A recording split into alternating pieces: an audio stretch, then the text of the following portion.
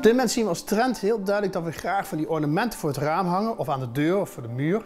Maar hoe maak je dat nou precies en hoe zien ze eruit? Dit is nou zo'n voorbeeld en dat doen we door middel van zo'n haakje zoals je hier ziet. Van die haakjes en zo'n takkenbos.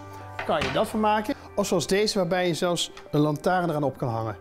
Je kan ervoor kiezen om hem hangend te maken of liggend. Ik vind liggend het makkelijkst. Dus ik leg hem op deze manier voor me neer en ik ga van me afwerken. Want dan kan ik heel makkelijk bepalen hoe lang het stuk precies gaat worden. Dus ik pak nou in eerste instantie de slinger.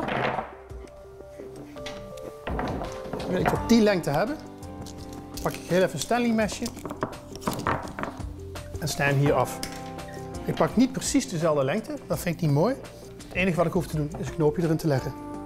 Nou, nu heb ik hier de twee girlandes uh, aan die haakjes zitten. Daar wil ik daarnaast met wat lint gaan werken. In dit geval weer het linnen wat gevlochten is. En die ga ik tussen de takgirlanden leggen. En ik ga kijken dat, er, dat die net iets langer is dan de andere girlandes die er al lagen. Waardoor ik daar uiteindelijk een hele mooie V-vorm ga krijgen. Dus dan mag je deze lengte hebben.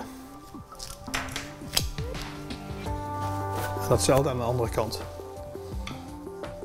En nu gaan we met de decoraties beginnen. En het belangrijkste is dat je zorgt dat hij een evenwicht is. Dus wat ik doe, in het midden bovenin de grootste items. En naar de zijkant toe en naar beneden de kleinere items. We beginnen met een roos. En die wil ik hier bovenop hebben. Echt boven in het hart. Lijnpistool erbij. En dan kijken waar je hem wil hebben. Ik wil hem op dit punt hebben. Kijken waar hij een beetje mooi in verhouding zit. Op dit punt. En dan druk ik hem weer vast. En dan als laatste, de laatste roos doe ik trapsgewijs 1, 2, 3. Dan is dit een mooie plek. Als volgende doe ik van die houten hartjes. Er zit al een lusje aan. Die heb ik iets korter gemaakt en die hang ik hierboven aan het bovenste haakje. Heel simpel. Die gaat er aan deze kant bij, dus die hang ik hierop. Aan de andere kant weer voor het evenwicht net weer iets langer. Dus die hang ik hier. En dan wil ik eigenlijk onderin ook nog eentje hebben. En die knoop ik gewoon hier aan vast. En dan kom ik nu met kleine roosjes voor uh, de finishing touch. Daar ga, mee, daar ga ik mee afstijlen. Zo. Pak het volgende roosje, knip je weer kort. En zo ga je hem heel langzaam vol decoreren totdat je denkt dat je klaar bent.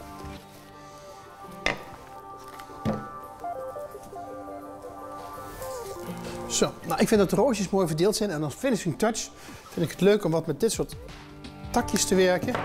Dat het ijzerdraad er zit, een beetje verfrommelen wat speelser wordt. En die hang ik er hier nog heel even tussendoor. Dus er komt er hier eentje aan te hangen. Dat doe ik aan de andere kant ook.